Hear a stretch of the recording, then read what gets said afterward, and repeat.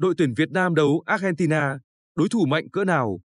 Trước khi giao hữu với đội tuyển Việt Nam, đội tuyển Futsal Argentina từng lên ngôi vô địch FIFA Futsal World Cup 2016 và ba lần vô địch Copa America vào các năm 2003, 2015 và 2022.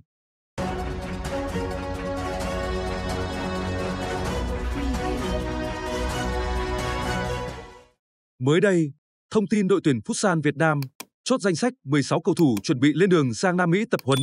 Ba trong tổng số 19 cầu thủ được triệu tập cho đợt hội quân từ ngày 8 tháng 5 vừa qua, phải nói lời chia tay với các đồng đội là thủ thành Lưu Thanh Bảo, Nguyễn Hữu Phúc và Ala Trần Nhật Trung. Đây là quyết định được chiến lược gia người Argentina tính toán và cân nhắc trên cơ sở đảm bảo nguồn lực đồng đều cho các tổ đấu của đội tuyển.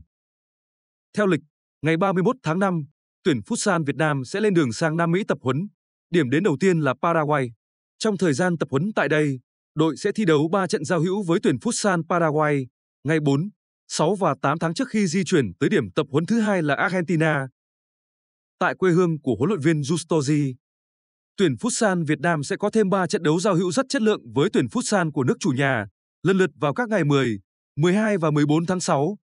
Argentina đã vượt qua vòng loại và tham gia tất cả 8 giải đấu FIFA Futsal World Cup và cùng với Brazil và Tây Ban Nha là những đội tuyển quốc gia duy nhất đã vô địch FIFA Futsal World Cup. Lần gần nhất, Argentina vô địch FIFA Futsal World Cup là năm 2016. Trước đó, các cầu thủ của xứ sở Tango ba lần vô địch Copa America vào các năm 2003, 2015 và 2022. Argentina đang xếp thứ tư trên bảng xếp hạng Futsal thế giới của FIFA. Cảm ơn các bạn đã xem hết video. Đừng quên bấm like, share và đăng ký kênh, bật chuông thông báo để không bỏ lỡ các video mới nhé.